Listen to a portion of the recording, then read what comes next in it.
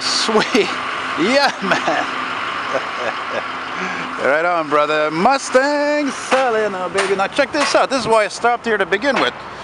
First, I see this old uh, Ford F800 circa late 90s. This was the last of their generation.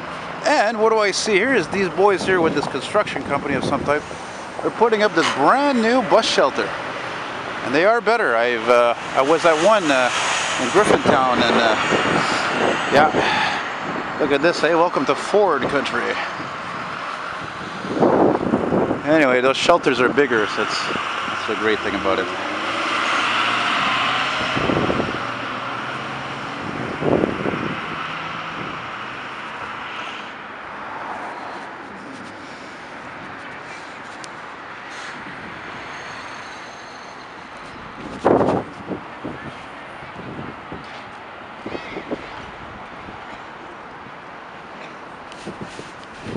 Yeah, F800.